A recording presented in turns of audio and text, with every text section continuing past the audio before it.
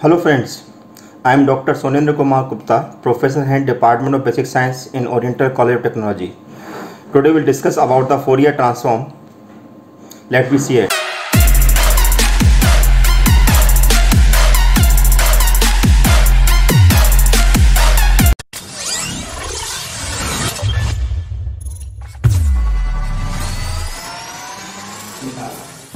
ठीक है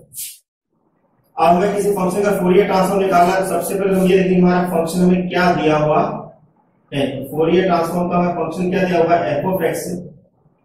and this is x mod x जो लेस देन होता है इसको लिख सकते हैं -a is less than a and plus a इसकी रिक्वायरमेंट मुझे पड़ेगी नहीं क्योंकि हम चाहे तो इसको लिख सकते हैं x ग्रेटर देन a और हम्म, x minus x greater than a तो हमें इसकी रिक्वायरमेंट नहीं है तो इसको एज इट इज लिखा रहने देते हैं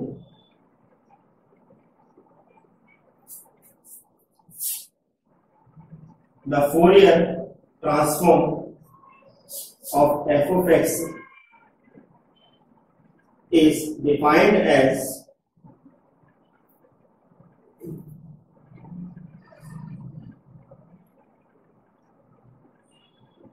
one upon under root 2 pi minus infinity to plus infinity f of x e to the power i by d dx ध्यान दीजिएगा कि मेरे पास जो फंक्शन है माइनस लिमिट जो है माइनस से प्लस इन्फिनिटी है और मेरे पास इस तरह से तो चाहे तो इसको इस तरह लिख सकते हैं दिस इज माइनस इन्फिनिटी से माइनस है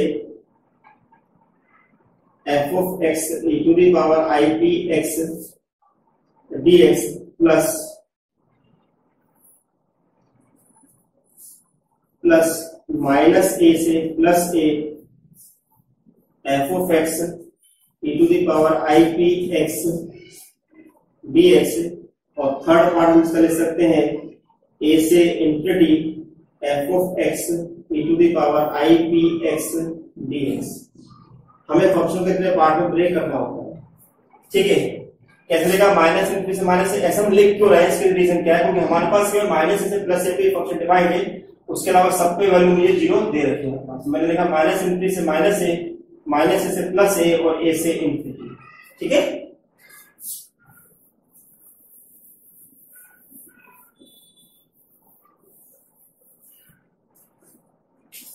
अब this is 1 upon root two pi minus infinity से माइनस ए क्योंकि माइनस इनफिनिटी से माइनस ए मेरे का वैल्यू जीरो दे रखी है तो उसको मैं लिख सकता हूँ zero d plus minus a से प्लस ए पर मुझे फंक्शन की वैल्यू रखी है एक्स तो मेरा दिखाएगा e to the power i p x d x और थर्ड ए से इन्फिनिटी जो लिख रखा है वो मेरे पास zero e to the power i p x d x okay तो ओवरऑल मेरा फंक्शन जो है केवल एक ही एक ही टर्म पर डिफाइंड है बाकी दो टर्म मेरे पास जीरो बन गया zero and this is minus a to plus a x a to the power i p x d x and value is अब यहां पर हम u इंटू बी का अप्लाई कर देते हैं one upon root two pi क्या बोलेगा मुझे x to the power i p x upon i p minus one e to power i p x upon i square x square sorry P square limit minus A से plus this is one upon root two pi one upon I P को मैंने बाहर कर दिया एक बार इसमें upper limit रखूंगा इसमें एक बार लोअर लिमिट रखूंगा कितना मिलेगा मुझे यहां पर this is X A to the power I P X ये वाला हो जाएगा टर्म मेरे प्लस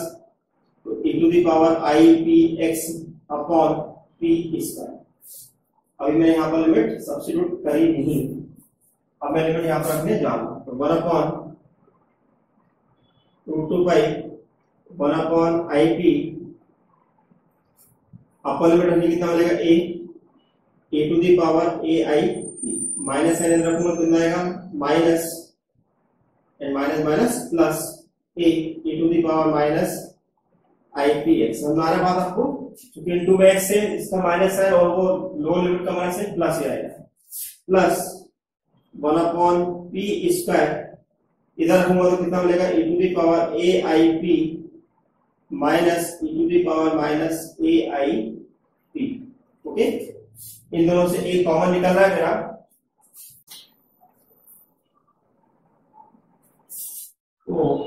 फोरियर ट्रांसफॉर्म यानी कि F of P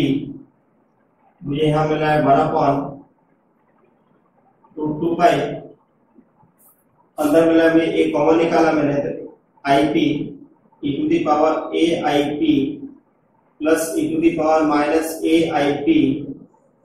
plus one upon P square E to the power A I P minus E to the power minus A I तो one upon two pi this is A upon I P और इसको मैं लिख सकता हूं यहां पर this is to cos कह सकता हूं टू कॉस एपी और ये यहां पर हमारा लिखाएगा one upon P square one upon P square minus two sorry two I sine A ठीक है ये अपने स्टैंडर्ड रिजल्ट होते हैं अब हमारे पास क्या हुआ टू भी मेरा बाहर निकालना है ठीक है तो मैंने टू को बाहर निकाल लिया one upon under two pi अंदर मेरे पास आ गया A cos A P divided by I P और ये मेरे पास मिल रहा है